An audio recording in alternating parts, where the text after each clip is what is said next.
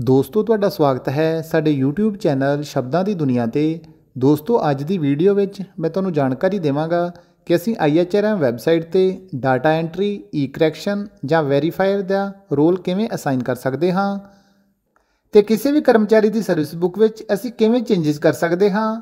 Personal detail ਵਿੱਚ marital status, gender, category, caste, religion ਜਾਂ ਇਸ ਤੋਂ ਇਲਾਵਾ address information initial joining information education information nominee detail award detail ਜਾਂ EMPLOYEE ਦੀ ਸਰਵਿਸ ਬੁੱਕ ਵਿੱਚ ਅਸੀਂ ਕਿਵੇਂ ਚੇਂਜਸ ਕਰ ਸਕਦੇ ਹਾਂ, ਅੱਜ ਦੀ ਵੀਡੀਓ ਵਿੱਚ ਤੁਹਾਨੂੰ ਪੂਰੀ ਜਾਣਕਾਰੀ ਦਿੱਤੀ ਜਾਵੇਗੀ। ਤੇ ਜੇਕਰ ਤੁਸੀਂ ਇਸ YouTube ਚੈਨਲ ਤੇ ਪਹਿਲੀ ਵਾਰ ਆਏ ਹੋ, ਤਾਂ ਚੈਨਲ ਨੂੰ ਸਬਸਕ੍ਰਾਈਬ ਕਰ ਲਵੋ ਤੇ ਨਵੀਆਂ ਵੀਡੀਓ ਦੇ ਨੋਟੀਫਿਕੇਸ਼ਨ ਲਈ ਬੈਲ ਆਈਕਨ ਨੂੰ ਦਬਾਉਣਾ ਨਾ ਭੁੱਲਣਾ। ਦੋਸਤੋ ਵੀਡੀਓ ਨੂੰ ਸ਼ੁਰੂ ਕਰਦੇ ਹਾਂ। ਸਭ ਤੋਂ ਪਹਿਲਾਂ ਕਿਸੇ ਵੀ ਵੈਬ ਬ੍ਰਾਊਜ਼ਰ ਨੂੰ ਓਪਨ ਕਰੋ। ਤੇ ਇਸ ਵਿੱਚ ਟਾਈਪ ਕਰੋ IHRM ਪੰਜਾਬ ਤੇ ਸਰਚ ਕਰੋ।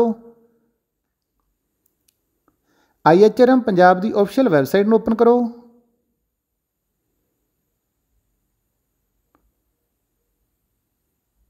ਕੰਟੀਨਿਊ ਟੂ IHRM ਪੰਜਾਬ ਇਸ ਆਪਸ਼ਨ ਤੇ ਕਲਿੱਕ ਕਰੋ। ਇੱਥੇ ਆਪਣੇ ਸਕੂਲ ਇੰਸਟੀਚਿਊਟ ਦੀ ਆਫਿਸ ਆਈਡੀ ਨੂੰ ਐਂਟਰ ਕਰੋ। ਪਾਸਵਰਡ ਐਂਟਰ ਕਰੋ। ਕੈਪਚਾ ਕੋਡ ਤੇ ਲੌਗਇਨ ਆਪਸ਼ਨ ਤੇ ਕਲਿੱਕ ਕਰੋ।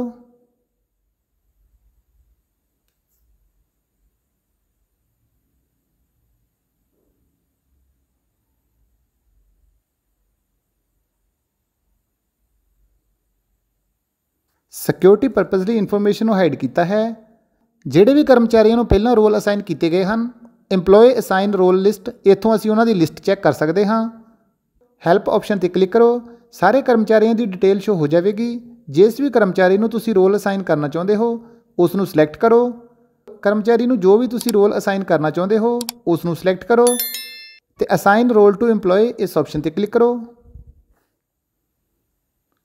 ਕਨਫਰਮ ਕਰੋ ਤੇ EMPLOYEE ਨੂੰ ਰੋਲ ਅਸਾਈਨ ਹੋ ਜਾਵੇਗਾ। ਉਸ ਤੋਂ ਬਾਅਦ ਵਿੱਚ ਇਸ ਨੂੰ ਲੌਗ ਆਊਟ ਕਰੋ। Click here to login again ਇਸ ਆਪਸ਼ਨ ਤੇ ਕਲਿੱਕ ਕਰੋ। ਕੰਟੀਨਿਊ ਟੂ IHRM ਪੰਜਾਬ ਇਸ ਆਪਸ਼ਨ ਤੇ ਕਲਿੱਕ ਕਰੋ। ਇੱਥੇ ਅਸੀਂ ਉਸ EMPLOYEE ਦੀ ਆਈਡੀ ਫਿਲ ਕਰਾਂਗੇ ਜਿਸ ਨੂੰ ਅਸੀਂ ਈ ਕਰੈਕਸ਼ਨ ਦਾ ਰੋਲ ਸਾਈਨ ਕੀਤਾ ਹੈ। ਉਸ ਦੀ ਆਈਡੀ ਐਂਟਰ ਕਰੋ ਪਾਸਵਰਡ ਕੈਪਚਾ ਕੋਡ ਤੇ ਲੌਗਇਨ ਆਪਸ਼ਨ ਤੇ ਕਲਿੱਕ ਕਰੋ। ਇੱਕ ਵਨ ਟਾਈਮ ਪਾਸਵਰਡ ਤੁਹਾਡੇ ਰਜਿਸਟਰਡ ਮੋਬਾਈਲ ਨੰਬਰ ਤੇ ਆਵੇਗਾ ਉਸ ਨੂੰ ਐਂਟਰ ਕਰੋ ਤੇ ਵੈਰੀਫਾਈ OTP ਇਸ ਆਪਸ਼ਨ ਤੇ ਕਲਿੱਕ ਕਰੋ।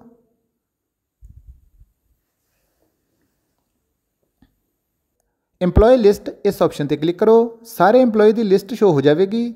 ਇਸ ਵਿੱਚੋਂ ਜਿਸ ਵੀ EMPLOYEE ਦੀ ਸਰਵਿਸ ਬੁੱਕ ਨੂੰ ਤੁਸੀਂ ਐਡਿਟ ਕਰਨਾ ਚਾਹੁੰਦੇ ਹੋ ਉਸ ਨੂੰ ਸਿਲੈਕਟ ਕਰੋ। EMPLOYEE ਦੀ ਡਿਟੇਲ ਸ਼ੋ ਹੋ ਜਾਵੇਗੀ। ਇੱਥੋਂ EMPLOYEE ਦੀ ਜੋ ਵੀ ਤੁਸੀਂ ਡਿਟੇਲ ਨੂੰ ਐਡਿਟ ਕਰਨਾ ਚਾਹੁੰਦੇ ਹੋ, ਜਿਸ ਤਰ੍ਹਾਂ ਅਸੀਂ ਪਰਸਨਲ ਇਨਫੋਰਮੇਸ਼ਨ ਨੂੰ ਐਡਿਟ ਕਰਾਂਗੇ, ਸੋ ਪਰਸਨਲ ਇਨਫੋਰਮੇਸ਼ਨ ਇਸ ਤੇ ਕਲਿੱਕ ਕਰੋ।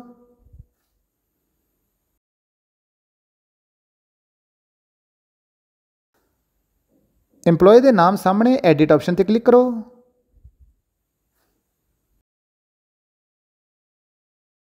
ਇੱਥੋਂ ਅਸੀਂ EMPLOYEE ਦੀ ਡਿਟੇਲ ਨੂੰ ਚੇਂਜ ਕਰ ਸਕਦੇ ਹਾਂ, ਜਿਵੇਂ marital status gender identity mark height category caste religion home state cadre service grade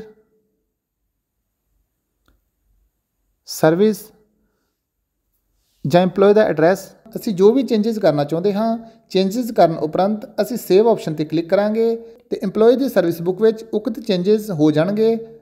ਦੋਸਤੋ, ਜੇਕਰ ਵੀਡੀਓ ਵਿਚਲੀ ਜਾਣਕਾਰੀ ਚੰਗੀ ਲੱਗੇ, ਤਾਂ ਵੀਡੀਓ ਨੂੰ ਲਾਈਕ ਸ਼ੇਅਰ ਤੇ ਕਮੈਂਟ ਜ਼ਰੂਰ ਕਰਨਾ ਤੇ ਸਾਡੇ YouTube ਚੈਨਲ ਸ਼ਬਦਾਂ ਦੀ ਦੁਨੀਆ ਨੂੰ ਜ਼ਰੂਰ ਸਬਸਕ੍ਰਾਈਬ ਕਰੋ। ਮਿਲਦੇ ਹਾਂ ਕਿਸੇ ਨਵੀਂ ਵੀਡੀਓ ਨਾਲ। ਤਦ ਤੱਕ ਲਈ keep learning learn more thank you